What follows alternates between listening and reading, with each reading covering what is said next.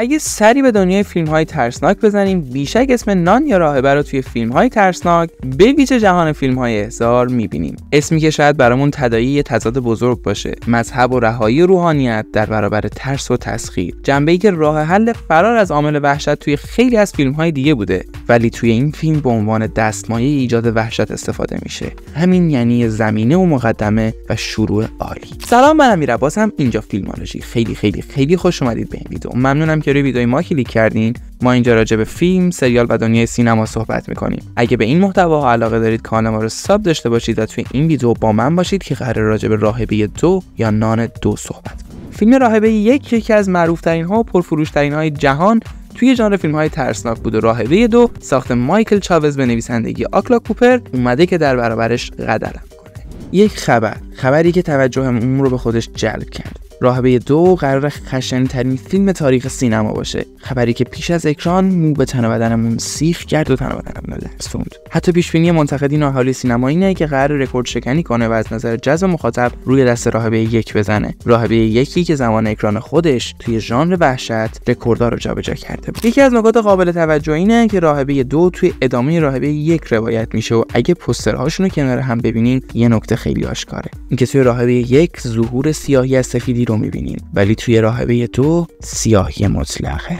خیلی ها این فیلم رو علاوه به نسخه دوم فیلم راهبه نسخه نهم franchise Conjuring می‌دونن. سری احضار یکی از ترسناک ترین ها و با کیفیت ترین سری های فیلم ترسناک توی دنیاست. و اما داستان.